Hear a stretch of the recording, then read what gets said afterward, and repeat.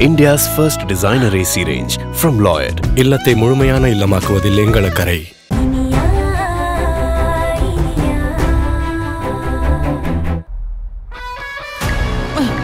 மா மா.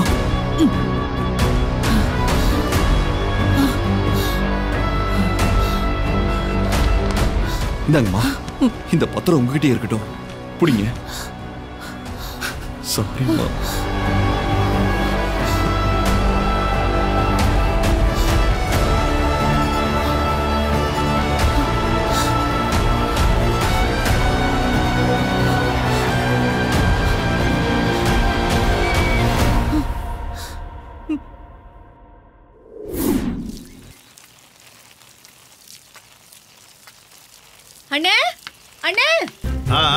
என்ன விஷயம்? நான் இங்க தான் இருக்கேன் வா. ஐயோ என்னண்ணே? ஐயோ என்னண்ணே? நீ போய் இந்த வேலை எல்லாம் பண்ணிட்டு இருக்க? வேற யார் பாக்குறது அதான் எல்லாம் முறுக்கிக்கிட்டு போயிட்டாங்களே. ஆமா நீ எங்க போய் சுத்திட்டு வர? நானும் பசியில வந்தேன் இங்க ஒண்ணுமே இல்ல. எங்க போன? உன்னை எங்கெல்லாம் தேடுறது? சமைக்க தெரியலன்னு ஒரு கோவத்துல சொன்னா கோச்சிட்டு போயிடுவியா? மாப்பிள்ளைக்கு ஃபோன் பண்ணா அவருக்கும் ஃபோன் போக மாட்டேங்குது. ஐயோ அண்ணனா அண்ணன் தான் என் மேல எவ்வளவு பாசம் உனக்கு. ஹோட்டல்ல ஆர்டர் பண்ணி சாப்பிட்டேன். உனக்கும் எடுத்து வச்சிருக்கேன். போய் சாப்பிடு போ. அண்ணே சாப்பாடு எதுக்குண்ணே? இன்னைக்கு விருந்தே நடக்க போகுது. இருந்தா என்ன சொல்ற? அண்ணே காலையில நான் சமைச்சது வேற உனக்கு பிடிக்கலையா? இப்படியே இருந்தா நீயும் பட்னி கிடப்ப. அதான் அண்ணிய பார்த்து பேசி அவங்க கையில கால்ல விழுந்தாவது நீங்க கூட்டிட்டு வந்துடலாம்னு அங்க போனேன். ஏய் நீ எதுக்கு அவங்க வீட்டுக்கெல்லாம் போன? அவ போனா போட்டோம். சோத்தை வச்சு மடக்க பாக்குறாளா இந்த நல்ல சிவத்தை? அது இல்லண்ணே அது விஷயம் இல்ல. அங்க இதை விட பெரிய விஷயம் ஒண்ணு நடந்தது. நான் போனப்ப அந்த இடியாக்கு ஜாமீன் வாங்குற விஷயமா பேசிட்டு இருந்தாங்க. அங்க என்ன பேசுனாங்கன்னு தெரியுமா?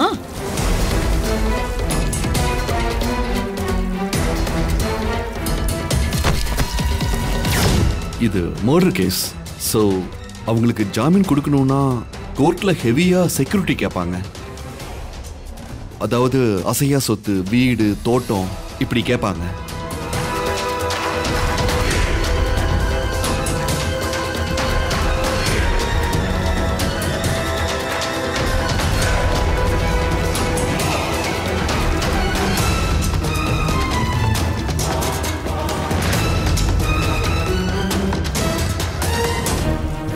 இனியா என்னோட ஃப்ரெண்ட் என் வெல்விஷர்.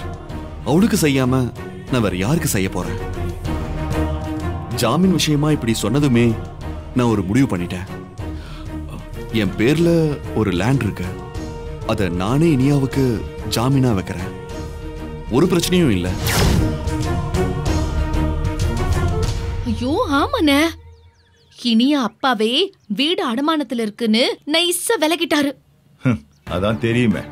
ஆமா அந்த கூறுகெட்ட பைய சூர்யா இங்க வந்து ஆச்சா போச்சான்னு குதிச்சான். இப்ப எப்படி அவளை ஜாமீன்ல எடுக்க ஒத்துக்கிட்டான்? அதுவும் அவன் வீட்டை வச்சு. அப்போ எல்லாம் ஒண்ணு கூடிட்டாங்க. அப்படிதானே அது எப்படி நான் ஒண்ணு கூடுவாங்க? நான் விட்டுருவேனா? அங்க வகைய போட்டு கொடுத்துட்டு தானே வந்திருக்கேன். அந்த விஷயம் எனக்கு தெரிஞ்சதுமே நேரா அந்த சூர்யா அம்மா கிட்ட போய் தெளிப்பா எல்லாத்தையும் சொல்லிட்டல இனி அந்த சூர்யா இனியாவ ஜாமீன்ல எடுக்க முடியாது. குடும்பத்தை கெடுத்தவளுக்கு இத்தனை பேர் சப்போர்ட்டா? அண்ணே நான் போட்டு கொடுத்ததுல சூர்யா அம்மா அப்படியே கடுப்பாயிட்டாங்க. அவங்க இந்த வீடெல்லாம் தரமாட்டாங்க. அந்த இனியா இந்த ஜென்மத்துக்கு வெளியே வரவே முடியாதுண்ணே. ஹோட்டல் சாப்பாடு சாப்பிட்டேன். வயிறு நிறையல. இப்ப நீ சொன்ன விஷயம் கேட்டு வயிறு இல்ல மனசு நிறைஞ்சிருச்சு எனக்கு. அமுதா நீ என் தங்கச்சிங்கிறத நிரூபிச்சிட்டமா இருந்து இருந்து இன்னைக்கு தான் ஒரு நல்ல காரியம் பண்ணிருக்க அந்த இனியா ஜெயிலே கடந்து சாகட்டும். ம், இனிமேதான் விஷயமே இருக்கு. இனியாவ ஜாமீன்ல எடுக்க சொத்து வேணுங்கிறதுக்காக அண்ணி நேர கிளம்பி இங்கதான் வருவாங்க. அதான பார்த்தேன். அங்க சுத்தி இங்க சுத்தினாலும் இந்த நல்ல சிவன் காலை வந்து புடிச்சு தாங்கும். வரட்டும். இன்னைக்கு இருக்கு அவளுக்கு. அண்ணே வண்டி சவுண்ட் கேக்குது. அண்ணி தான் வராங்கன்னு நினைக்கிறேன். இங்க பாரு நீ இந்த மாதிரி வேலை எல்லாம் சேர்த்த பார்த்தாங்கன்னா நமக்கு தான் அசிங்கம். நீ வா உள்ள வந்து கெத்த உட்காரு வா. வாண்ணே. வா வா வா. உட்காருண்ணே இந்தா பேப்பர் படி. என்னென்ன கால் மேல கால போடு போடு.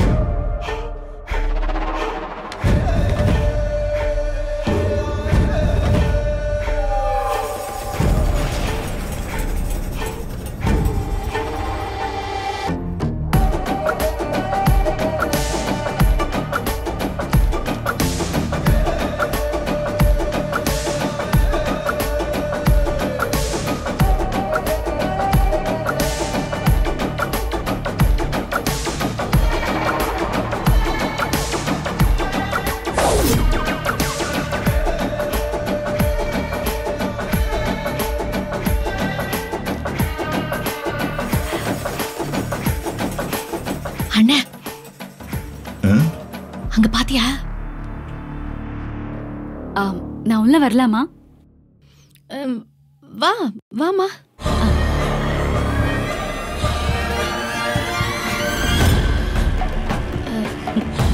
யாருமா நீ? சொல்றேன் ஆண்டி. அங்கிள் எப்படி இருக்கீங்க? அங்கிளா? என்ன அப்படி பாக்குறீங்க அங்கிள்? என்ன யாருன்னு தெரியலையா? தெரியலையே. அங்கிள் என்ன நீங்க? விக்ரமோட போலீஸ் ட்ரைனிங்ல ஒரே பேட்ச்ல இருந்தேனே. என் பேரு மாயா. மதுரையில மகாலட்சுமி டெக்ஸ்டைல்ஸ் ஓனர். அவரு பொண்ணுதான். நம்ம பேசியிருக்கோம் அங்கிள் மதுரையில மகாலட்சுமி டெக்ஸ்டைல்ஸ். மதுரையில் அதான் நம்ம பெரிய கடை? ஆமா அங்கிள் அவரோட பொண்ணுதான்? நான்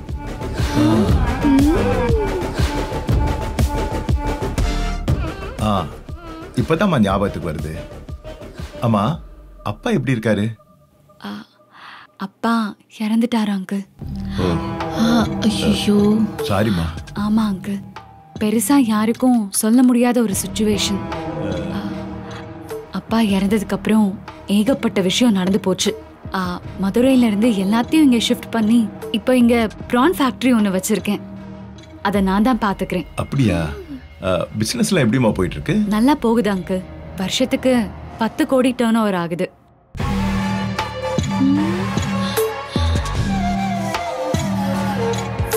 ஐயோ பேசிக்கிட்டே இதை மறந்துட்டேன். இந்தாங்க ஸ்வீட். என்னென்ன பாக்குற வாங்கிக்கோ. ஆ, ஆ, கொடுமா. என்னென்ன பாத்துட்டே இருக்க? உட்கார சொல்லுன. ஆ, உட்காருமா ஆ ஷியோர் ஆ, உட்காரு ஜூஸ் ஏதாவது கொண்டு வரட்டுமா? ஆ ம், ஆ, அங்கிள் விக்ரம் எங்க? உள்ள இருக்கானா? இருக்கானாவா?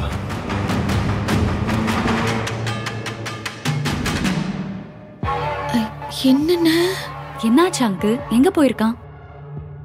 எனக்கு தெரிஞ்சு அவனோட சின்சியாரிட்டிக்கு டிபார்ட்மெண்ட்ல நல்ல பேர் வாங்கியிருப்பான். ம், இல்லம்மா. அவனுக்கு கல்யாணம் பண்றேன்னு ஒரு தருதலையை கட்டி வச்சு என் மகன் வாழ்க்கைய முடிஞ்சு போச்சு. அவன் இப்போ சஸ்பென்ஸ்ல இருக்கான். என்ன அங்கிள் இப்படி சொல்றீங்க?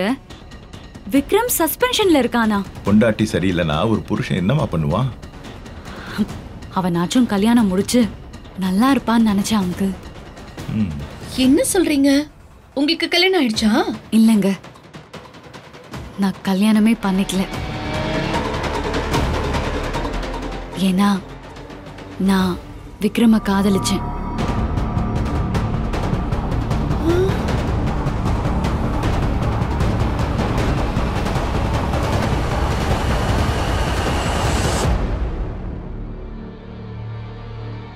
என்னம்மா சொல்ற? இல்ல பெரியவங்க உங்ககிட்ட இப்படிலாம் பேசக்கூடாது. அதனால என்ன இருக்கு? நீங்க மேல சொல்லுங்க.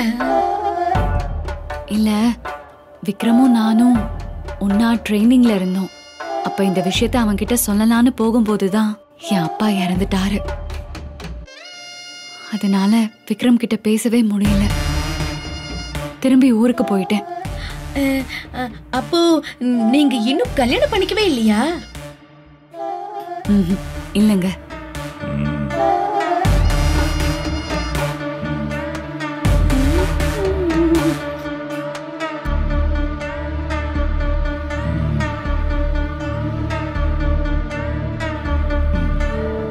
ஒன்றும் பிரச்சனை இல்லைம்மா. இப்ப நீ ஊன்னு ஒரு வார்த்தை சொல்லு. நானே அவனை உனக்கு கட்டி வைக்கிறேன். அங்கிள் என்ன சொல்றீங்க? நான் ஏதோ என் மனசுல இருக்கிறத சொன்னேன். ஆனா சட்டன் நீங்க இப்படி பேசுறீங்க. விக்ரம்க்கு தான் ஏற்கனவே கல்யாணம் ஆயிடுச்சு. இத பாருமா. நீ உன் மனசுல இருக்கிறத பட்டுன்னு தேங்காய் உடைச்ச மாதிரி சொல்லிட்ட. அதனால தான் நான் இதை சொல்றேன். அவனுக்கு வாய்ச்ச பொண்டாட்டி சரியில்லைம்மா. இப்போ அவ எங்க இருக்கா தெரியுமா. ஒருத்தனை கொலை பண்ணிட்டு ஜெயில்ல இருக்கா. அந்த இனி அவ ஜெயிலுக்கு அனுப்புனதே நான் தான் அங்கிள் என்ன சொல்றீங்க? விக்ரமோட ஒய்ஃப் ஜெயில இருக்காங்களா? ஆமாம்மா. மருமகன் அவ என்னைக்கு இந்த வீட்டுல காலடி எடுத்து வச்சாலோ அப்பவே எல்லாம் போச்சு. இப்ப நீ உன் மனசை விட்டுது சொன்னதும் தான் எனக்கு இந்த யோசனையே தோணுச்சு. நீயே சொல்லுமா ஒரு கொலகாரி எப்படிமா மருமகன் இந்த வீட்டுக்குள்ள வச்சுக்க முடியும்? நீ விக்ரம காதலிச்சதுனால அவன் எப்படின்னு உனக்கு தெரியும். உன்னையும் அவனுக்கு தெரியும். அதான் நான் சட்டுன்னு சொல்லிட்டேன். ஜெயிலுக்கு போன அந்த இனியா வெளியே வந்தாலும் அவளை அத்து விட்டுருவேன். அதுக்கப்புறம் அவன் யாரையாவது கல்யாணம் பண்ணிட்டு தானே ஆகணும்? அது நீயா இருந்துட்டு போட்டுமே.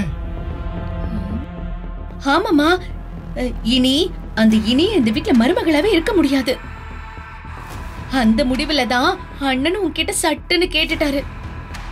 நீ சரின்னு சொன்னா உடனே கல்யாணம் ஏற்பாடு பண்ணிடலாம்.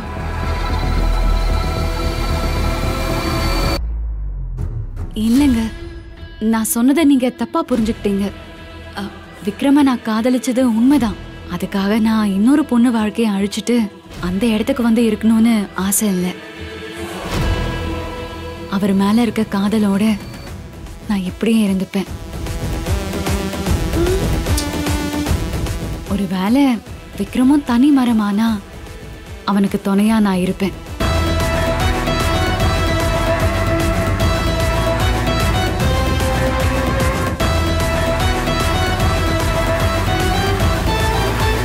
சரிங்க அங்கிள் அப்ப நான் கிளம்புறேன். போயிட்டு வாமா விக்ரம் வந்தா நான் வந்ததா சொல்லுங்க. சொல்றேம்மா. அவன் கல்யாணம் பண்ணிட்டு சந்தோஷமா இருப்பான்னு நினைச்சேன். கடைசியில இப்படி ஆயிடுச்சு. ஆ, வரேன்.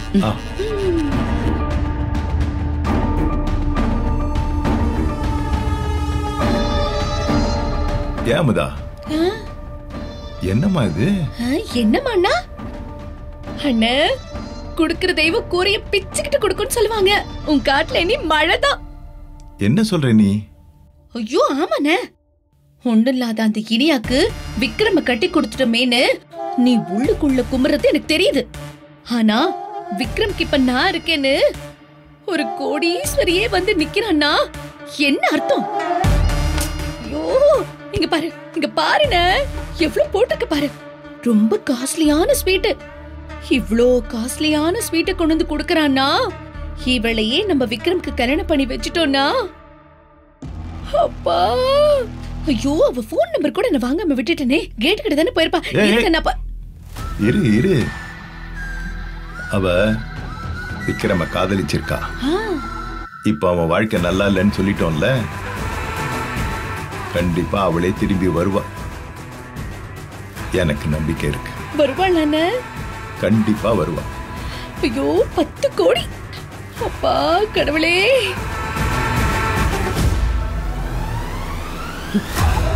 இனியா மறுபடியும் இந்த வீட்டுக்கு வர முடியாது. அதுக்கு நான் கேரண்டி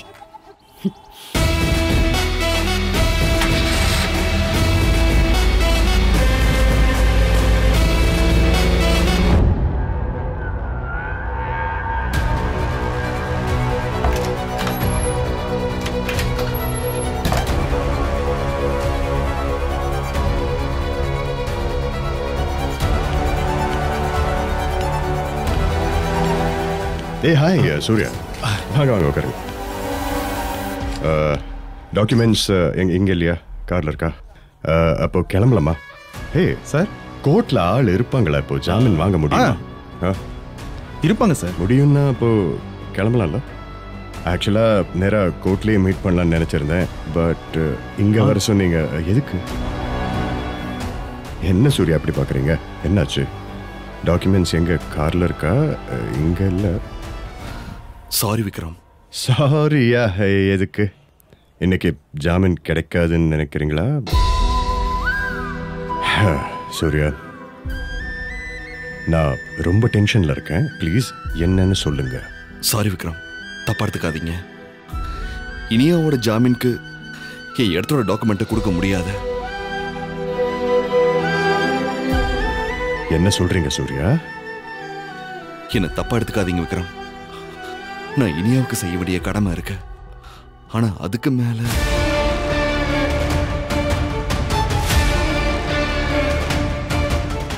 அம்மா புரியாம பேசாதீங்கம்மா.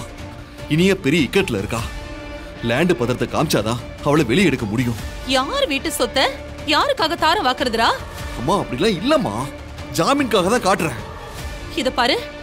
நீ இனிமே அந்த இனி அவக்காக எதுவுமே பண்ண கூடாது முதல்ல இந்த டாக்குமெண்ட்டை என்கிட்ட கொடு. கொடு சூர்யா. சூர்யா சொல்லிக்கிட்டே இருக்கல கொடு. விடுங்கம்மா. என்னம்மா நீங்க? இத பாரு நீ. அவளுக்காக எதுவுமே. பண்ண கூடாது. என்னம்மா பண்றீங்க?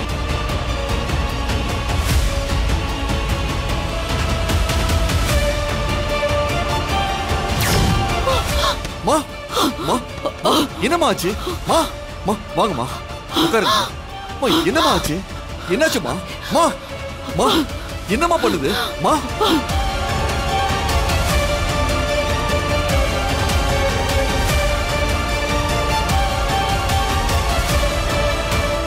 இந்த டாக்குமெண்ட்ட அவ ஜாமீனுக்காக கொடுக்க மாட்டேன்னு?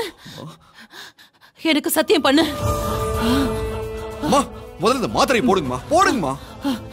முடியாது. சத்தியம் பண்ணு முதல்ல. இந்த பத்திரத்தை நான் கொடுக்க மாட்டேன். இது சத்தியமா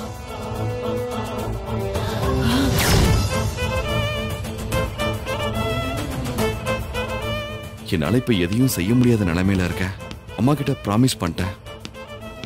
என்னால இப்ப இனியாவுக்காக ஆஜராகவும் முடியாது.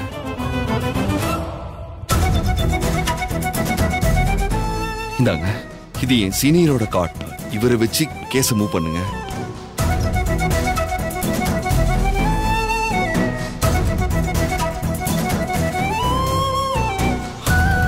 விக்ரம் என்ன மன்னிச்சிருங்க. எல்லாரும் நல்லா இருக்கணும் சந்தோஷமா வாழணும்னு நினைச்சவ ஜெயில்ல சித்திரவதை அனுபவிச்சிட்டு இருக்கா அவ இப்போ என்ன நிலைமையில இருக்காங்கிறது உங்களுக்கும் தெரியும்.